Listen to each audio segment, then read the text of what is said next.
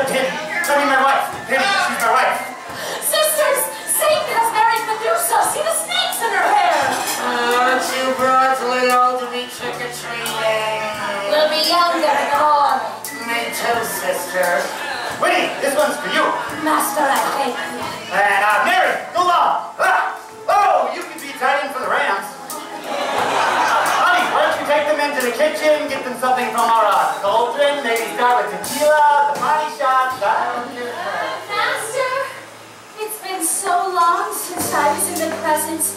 such a big, big, Mr. Big man is powerful.